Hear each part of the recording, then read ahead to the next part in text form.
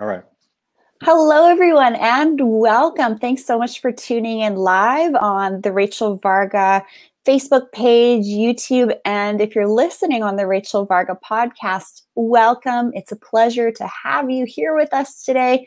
If this is your first time joining in, warm welcome. I'm a board certified aesthetic nurse specialist. I love helping people just navigate being a human, you know, enjoying the process and really optimizing our body, mind, spirit, and energy to cultivate a higher level of health, radiance, and beauty. And if you're a returning listener, welcome back. I just love doing live check ins here with you guys. I went live just earlier today again as well. Please leave your questions in the comment section because what it does is actually we can bring your questions on live. It's this really beautiful interactive live call with a very special guest, Dr. Jason Littleton welcome. Thank you so much for joining us today and for being on the Thank show. Thank you, Rachel. Thank you. It's an honor to be on the show. And I'm really excited. Uh, this is going to be an incredible episode. Mm-hmm. Yeah, this is, I think, just really going to be a healing message for everybody, especially at this time for how we can really live energetically and how we interact with people, places, and things in really, truly meaningful ways. So, you have quite the background behind you. And I really admire people like yourself, uh, Dr. Littleton, for really stepping out and being brave at this time and coming out onto the online space with health promoting information. So, tell us a little bit about yourself. Well, thank you, Rachel. So, I'm a board certified family physician and I am the chief of family medicine at Orlando Regional. I wear many hats. One of my um, one of the favorite things I love to do, one of the favorite hats I love to wear, is that I'm the CEO and founder of Littleton Concierge Medicine. And concierge medicine is private medicine all the time on social media, everywhere I go. I really distinguish the difference between private and public medicine. You know, whereas public medicine, as most people know it, is insurance based medicine. And with that comes long wait times. And sometimes you don't have the access that you want. Whereas private, it's retainer medicine and you have better access. In fact, all my patients have my cell number. And so we're in constant communication. Um, and, you know, I champion concierge medicine. I founded Littleton Concierge Medicine in 2016. And we have an incredible practice. We take care of individuals, families, corporate uh, clients. I have a lot of executives and CEOs and even celebrities in my practice. So um, one of the things that my practice surrounds is helping people to have more energy to do their life. And mm-hmm. I want people to be wealthy, I want people to be healthy, and I want people to prosper. And I, you know, I, I basically uh, give this message through my practice. Mm-hmm. What are some of the benefits of having an energized life? This is a topic that you're very, you know, you eloquently explain this on how we can take actionable steps to do just this. So I'd love for you to share your perspective. Yeah. So listen, when people are motivated and energized to get their goals done in life, you know, they are then able to actually live their destiny and live their dreams. I have found so many people who maybe it's because of what job that they're in, or maybe it's because of what they have on their plate, sometimes they don't get an opportunity to do those things that they really want to do. Their goals okay? I don't you know whether it is you know reading you know a certain amount of books a year or finally you know taking on that career that they've always wanted to do or even traveling to that destination they've always wanted to travel. Sometimes people don't take the time to actually pursue those things because they're tired maybe with their jobs or they're tired just doing some of the household chores that they have or whatever it is. And sometimes that's because of a medical issue but sometimes it's because of per- uh, perspective. And i work with people to help them really figure out the routines, the health routines, look at their self from a medical perspective so that they can actually feel energized again. Mm-hmm. Yeah, I just love that. So tell us about a higher level of care for a higher level of learning. You guys listening might be like, well, what does that mean? But um, just share this with everybody. Well, you know, again, that has a lot to do with my concierge practice. And when I talk about a higher level of care, it's again, it's about access you know, a lot of times people have questions and they don't get the opportunity to talk to their doctor about that. Right now, as I distinguish the difference between public and private medicine, in public medicine or insurance based, people usually have 15 minutes to speak with their doctor as a follow up or 30 minutes as a new patient.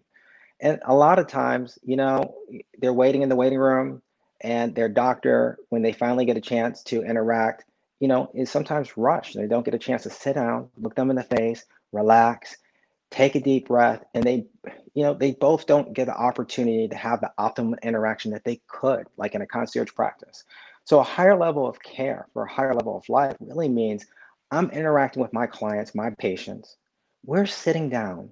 We're really getting to the nitty gritty, talking about their goals. What do they really want to do? You know, and we'll probably get to this later, but I have a story really that epitomizes all of this. I mean, you know, where, you know, I really talk about someone who, when I ask them how long they want to live, you know, mm. they have this goal of living maybe to be like 97. But I say, you know, I, I don't see you making it to 97. 88, no, I don't know.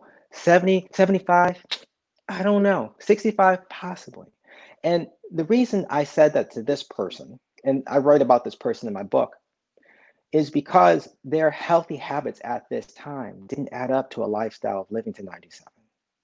And right. that really changed their perspective. And so when we talked about that, we had an opportunity to recreate their life so they can be on track to have longevity.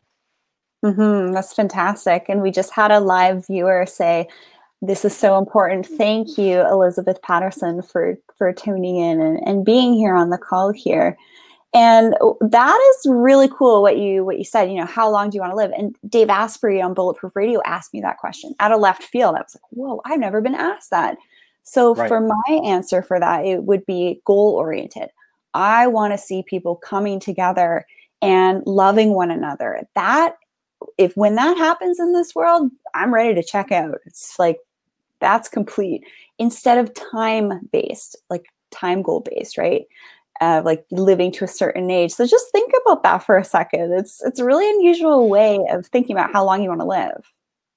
Right. You know, it's like um, people ha- look. Everyone has things that they must accomplish. In fact, when I'm working with my clients, I usually start the um, the relationship by asking them, "Listen, what do you what do you feel like you have to accomplish before you leave Earth?"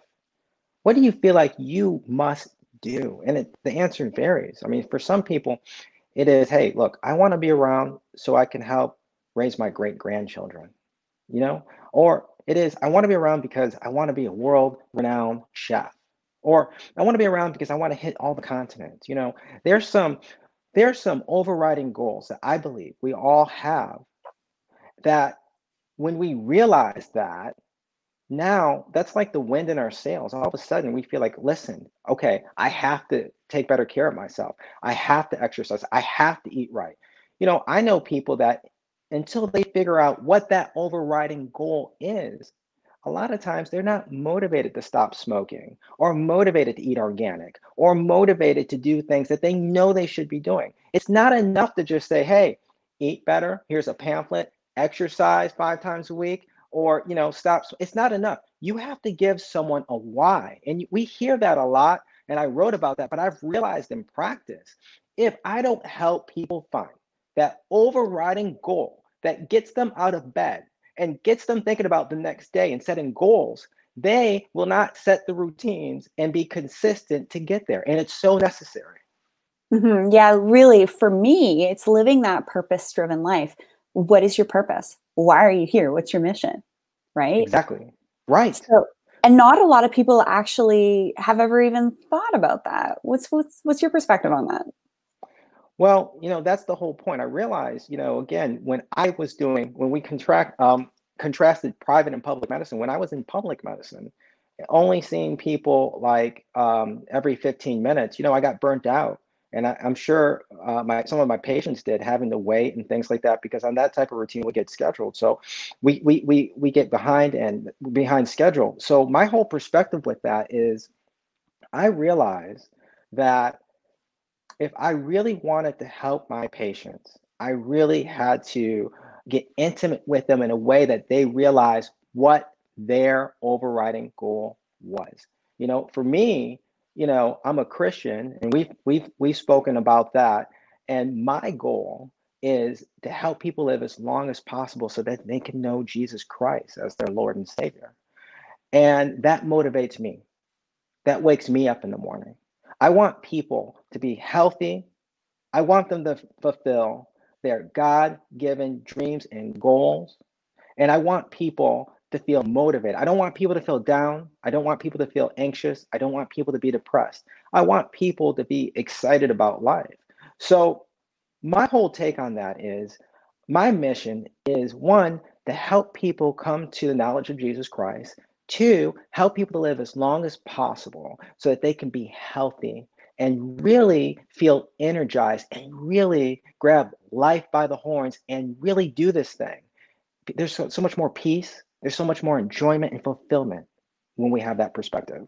Mm, yeah, I'm in complete alignment with you. And then, you know, I just take a step further. Let's let's look good in the process. Let's enjoy the beauty around us. But at the same token, how you're helping your patients, they can't help but look more beautiful and radiant and glowing in the process when they have that internal glow. What do you think that is? What is radiance, that internal glow, that just like that that true beauty? Just go for it. I'd love to hear your perspective.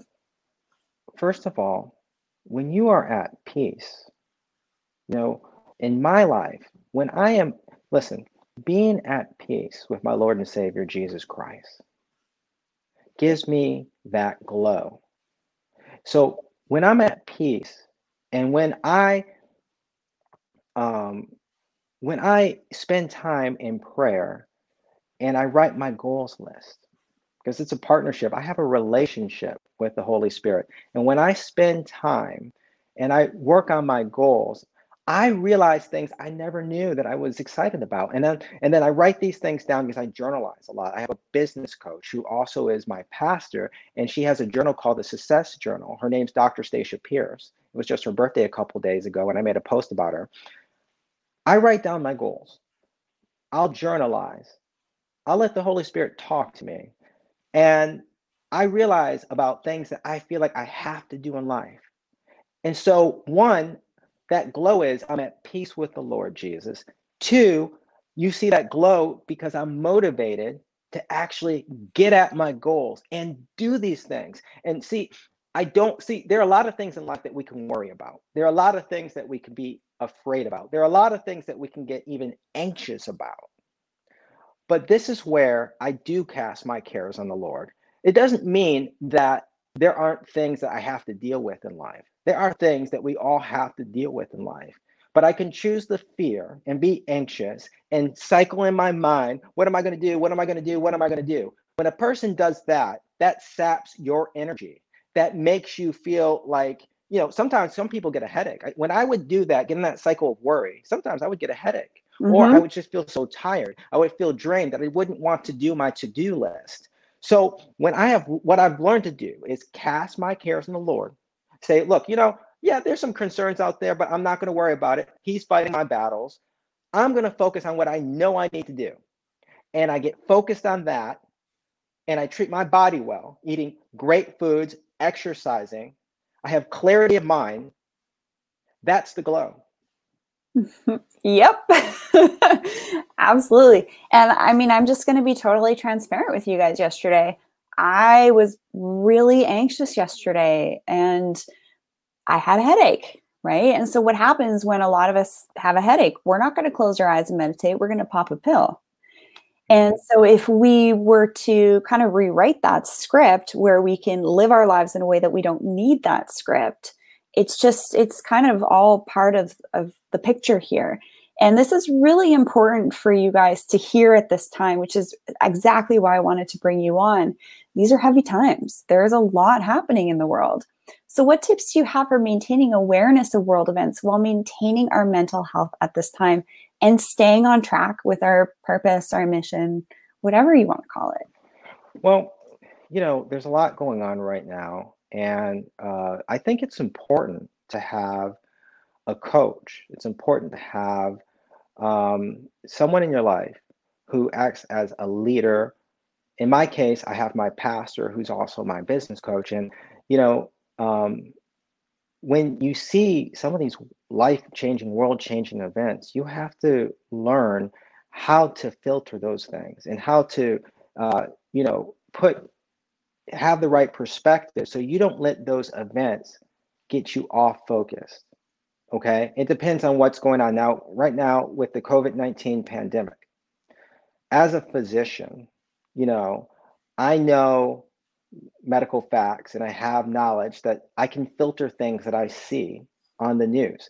But my patients may not be able to filter it like I do. So they'll look to me and they'll ask me, Hey, what do you think about this, Dr. J? What do you think about this? And I'll explain it. And, you know, in a way, I'm acting as a coach, as their doctor, and I'm explaining things on how they can have the proper perspective for this.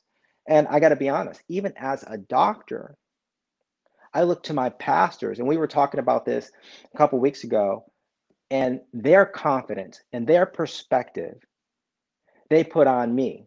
And so I get confident instead of fearing about how to deal with, oh my gosh, this is going on, that's going on, this is happening over here, this is happening in this country.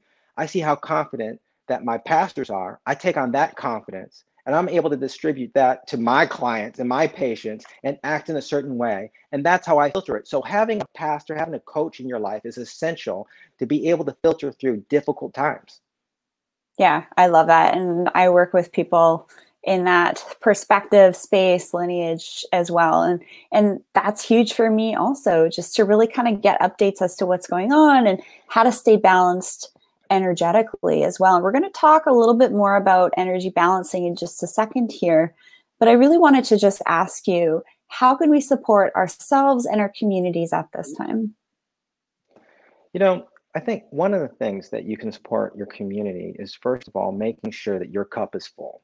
You know, a lot of times we want to help, you know, everyone out in the world, nothing wrong with that, but you have to make sure, you know, are you at peace? Are you feeling whole is are you doing exactly what you need to be doing? Because you have to look at your life that your mission has something to do with helping others. And if you're not focused on your goals if you're not focused on the daily route because your daily routine should add up to a weekly routine a monthly routine, routine and so on and so forth. And all these goals should not only be making you better but pouring into others. And so i think when we get off track because of world events, then we lose focus on what our mission is. And then we're not actually fulfilling our mission, which is supposed to help others. So I think we help others by making sure that we have the right goals as far as what we're trying to do in life, and then staying focused and then participating that way. If we try to spread ourselves too thin, we become less effective. And in the case of myself, if all of a sudden I get so focused on what's going on in the world that I forget that my gifts as a physician and I'm not harnessing my gifts as a physician, then it's hard for me to help people. So uh, that that would be my answer to this question. Mm-hmm. And I know you have some really great actionable steps that we're going to share here that you shared with uh, Dr. Kellyann recently. And I look forward to collaborating with her um, very soon as well. But what are some of the health benefits of, of energy balancing? What is that? Because a lot of the listeners here, they might think that's a little woo. So can, can you just kind of break that down what is energy balancing from a medical perspective and how do you implement that in your life well when i so i'm gonna i'll, I'll rephrase it this way and when it you know um, i don't call it um, energy balancing I, I, usually tell people how do you optimize um, your your health for more energy and i say it that way because you know as a christian i think um, you know, when we talk about energy, people can, um, you know, get misled and think all sorts of metaphysical things. I try to remind people that through good health, good nutrition, good eating, good exercise. In fact, I have a formula called MEDS move, eat, drink, sleep. And we'll go through that. By doing these things, naturally, you can optimize your physical energy. And again, mental energy is a part of that. And when I talk about mental energy, it's about not worrying, not being in fear, having clarity of mind. Some of the things we talked about earlier in this conversation. And so I tell people that you have to have, first of all, you have to be at peace with the Lord Jesus Christ. Secondly, you have to make sure that you're treating your body well. This is our temple. And so we want to make sure that we're drinking good water, we're exercising. We want to make sure we're getting good sleep, eating organically, okay? And we want to make sure that we're goal oriented. When we do that, physically we feel 10 out of 10. Mentally, we're 10 out of 10. Spiritually, we're 10 out of 10. And what I'd like to do is I'd like to break that down in terms of what that acronym that I made means move, eat, drink, sleep. Because I think if a lot of people grab hold on that, they'll be able to have, um, they'll be able to live at their highest potential and feel uh, fully uh, energized and be able to accomplish their goals. Mm-hmm. Yeah. So break it down for us. I love that. So, meds, real simple, move. What I try to start people out with is five minutes of walking or biking three times a week. The reason I do that, and when I do that, I always get the same reaction. People are like, oh, I can do six minutes. I can do 10 minutes. I can do a half hour. And I say, you know what? I don't want you to do 10 minutes or a half hour.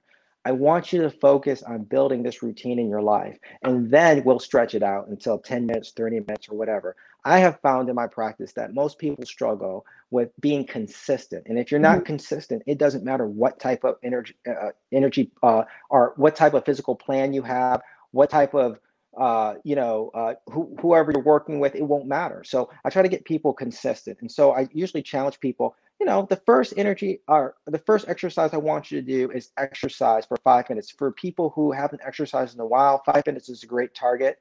Go jog for five minutes three times a week. Great. Once you master that and get that out of your belt, uh, uh um, under your belt, we'll stretch it out.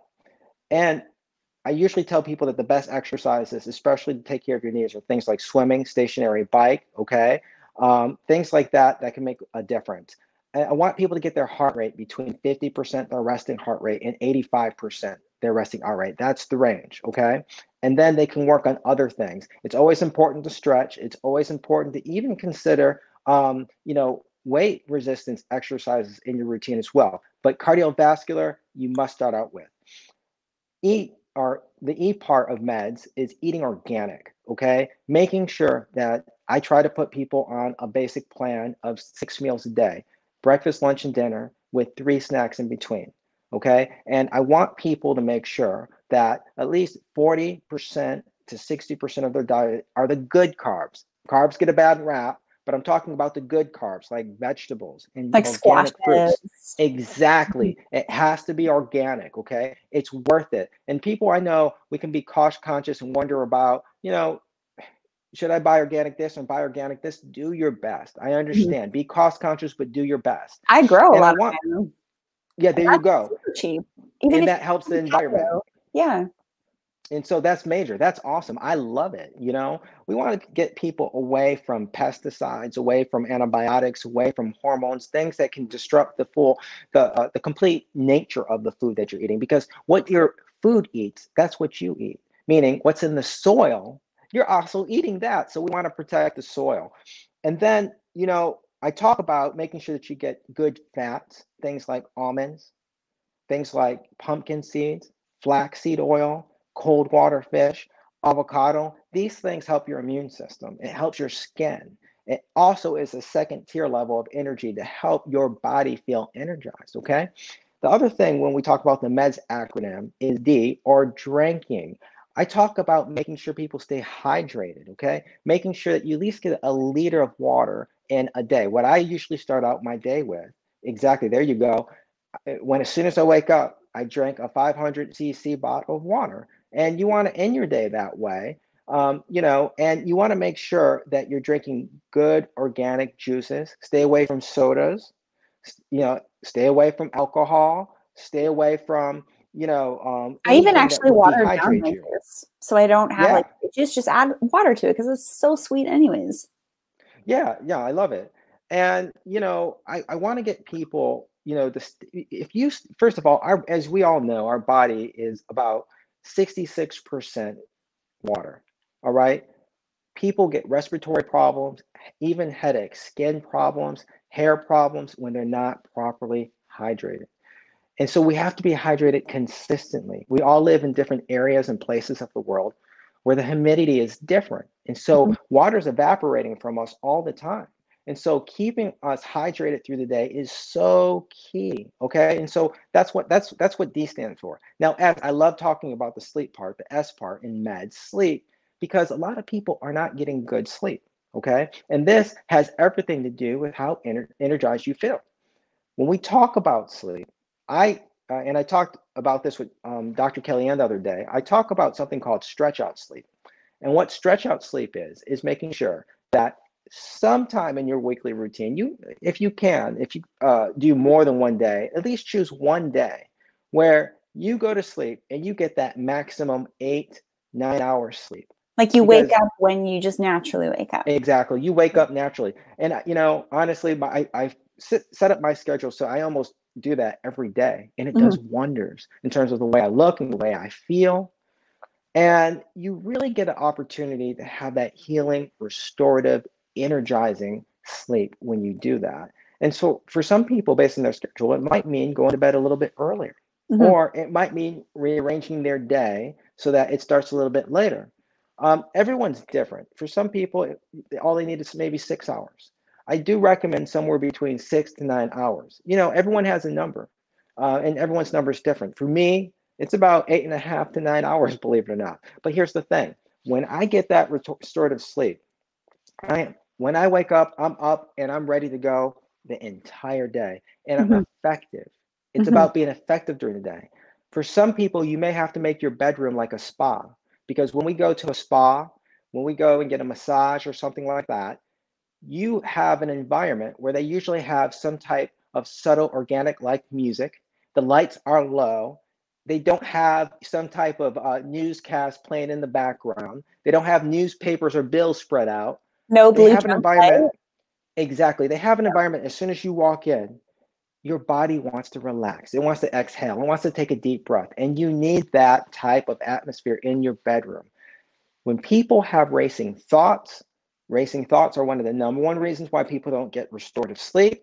Mm-hmm. It's important to have that type of environment. Plus, I'll go further. It's important to make sure you journalize and put a constructive answer to any racing thought that you have before bed. I have found in my practice that when my patients journalize and they put potential solutions to maybe something that they're worried about, even if that at the end of the day is not the answer, your body can deal with that and say, okay, that's a possible answer. We got a workflow going. We're working on something. I can rest. And in the morning, in the morning, I'll pick it up and I'll figure out what's next. Instead of not providing an answer to racing thoughts, then you go to bed worried, you toss and turn, and you can't sleep. I want people to get sleep. I want people to have a restorative life. And that's one of the ways I do it. And that's what I tell people everywhere I go. Mm-hmm. I even actually like to do dream journaling. I'm one of those people that I have pretty vivid dreams and it's like you could write these crazy movies on the dreams that I have and it's kind of neat just like journaling and taking time to tune into that.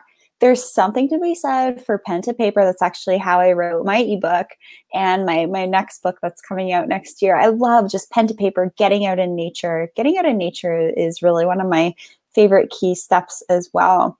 So I just have one final question for you here. How can tuning into our personal spiritual needs allow us to age better?